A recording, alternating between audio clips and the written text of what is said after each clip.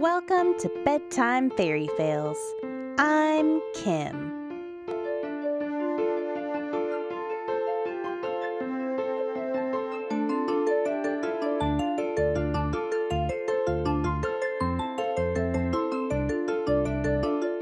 This story was made possible in part by the live play D&D podcast All D20. We'll tell you a little more about them after the show. I also wanted to give a quick shout out to the live play D&D podcast Caffeine Check. You may recognize that name from our episode Reconnaissance is the most important thing. You can find them on Spotify, Apple, anywhere you listen to podcasts. Go check them out.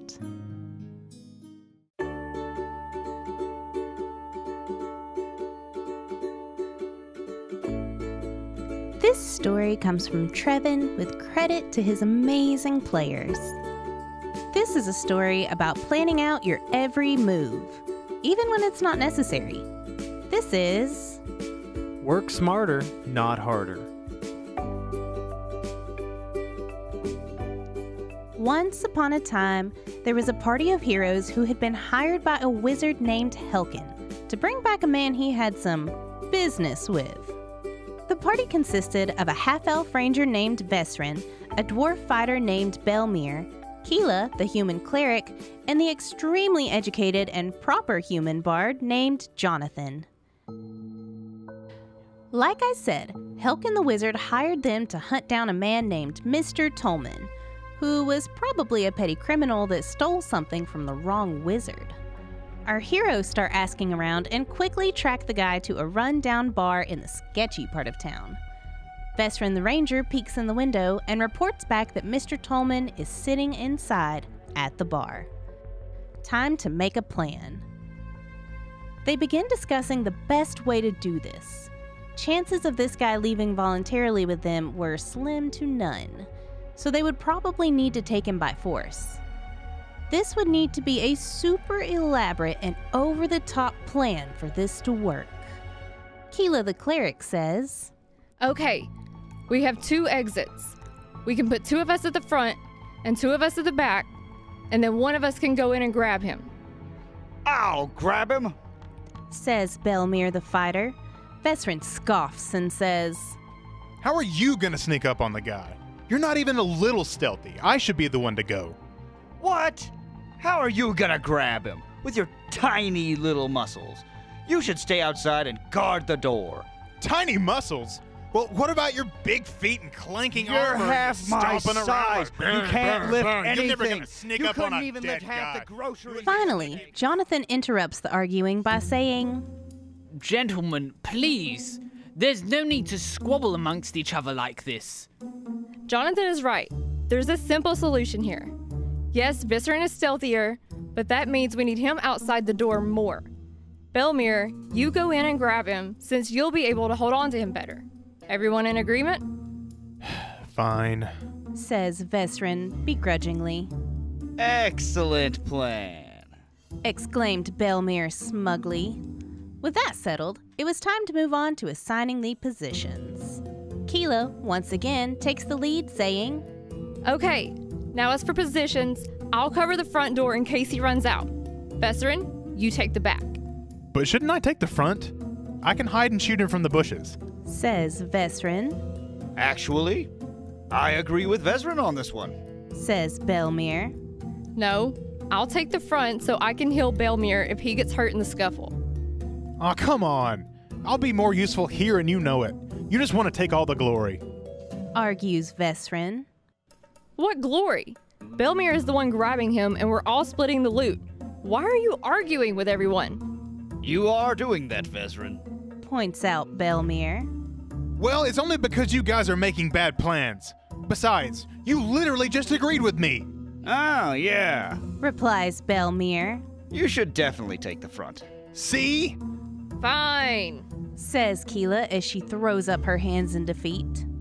You take the front, I'll take the back. Belmir will go in and grab him. Jonathan, you go. Wait, where's Jonathan? The heroes look around and realize that Jonathan had disappeared while they were arguing. They search around a bit before one of them finally spots him through the window of the bar. You see, Jonathan had come up with a much better plan, a simpler plan, one with no arguing. Jonathan walks right up to Mr. Tolman and says, Excuse me, sir. Are you Mr. Tolman? The man looks up suspiciously at Jonathan and says, Who wants to know? Excellent.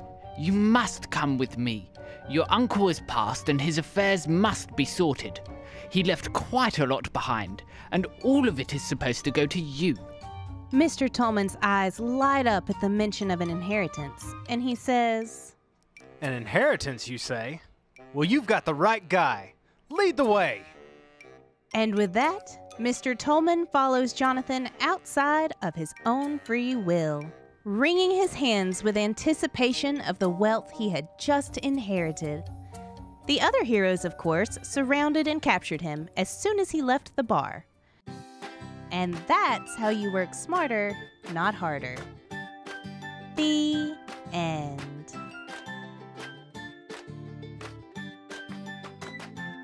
This story was sent in by Tim Pallas. This is a story about the importance of respecting Mother Nature.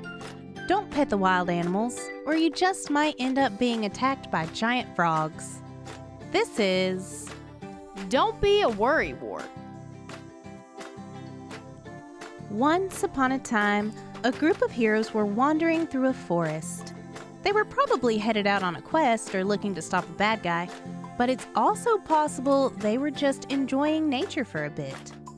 Our nature loving party consisted of a kobold ranger named Sulphur, Louis the dark elf rogue, and a dragonborn wizard named Kyle. The heroes were walking down a beautiful forest trail lined with tall trees. Off to their left, they can hear a small stream babbling. As they're walking and enjoying the scenery, they eventually come across a long line of frogs hopping across the path towards the stream. Now, as far as animals I want to pet go, frogs would be somewhere near the bottom of my list. But not for Sulphur the Ranger. They're right up there at the top for her, You guys, look at these cute little frogs. says Sulphur. I'm gonna pet them. Kyle gives her a disapproving look and says, I don't know. Maybe we shouldn't touch the wildlife. Sulphur scoffs at him and says, Don't be such a worrywart. It'll be fun. It's just some little frogs. Maybe Kyle's right, Sulphur. says Louis. Let's just go around them. You guys are being ridiculous. It's fine. Really. I'm great with animals. It's like if animal handling were a stat, mine would be super high.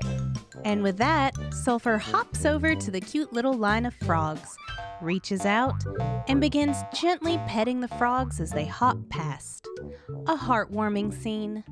That is, until out of the forest hops two giant frogs that are clearly unhappy with Sulphur petting their offspring. She locks eyes with one of the frogs as a giant tongue shoots out at her and sticks to her legs. She tries to run, but can't move.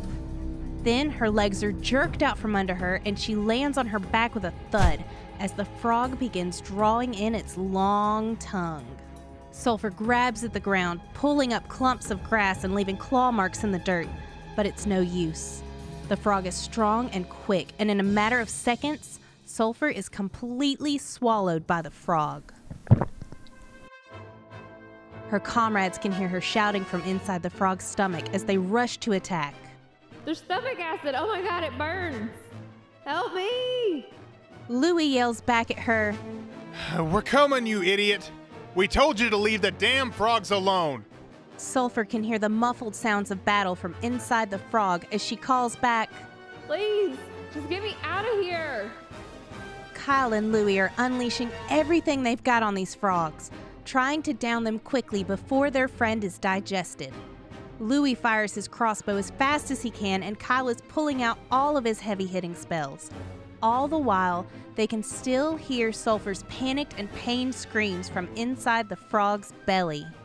Guys, please hurry. It wasn't worth it. The frogs weren't that cute, anyways. You're right. Please get me out. Guys, I'm dying. Finally, after what felt like an eternity, the two heroes kill the frogs. They rush over to cut out Sulphur, and she slides out in a river of blood and digestive juices. She was alive, but just barely. Kyle kneels down next to her and says, So maybe next time we won't pet the forest animals, right?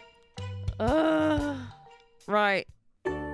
After this incident, the entire party vowed to never associate with frogs ever again. Sulphur also developed claustrophobia, which made dungeon crawling a whole new kind of challenge. And that, kids, is what you get for trying to interact with nature.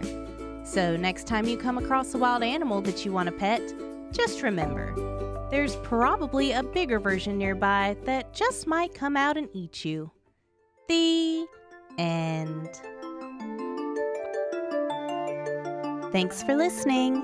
If you like D&D podcasts, which clearly you do, be sure to check out one of our favorites, All D20. You can find them on Spotify, Apple Podcast, or anywhere else you listen.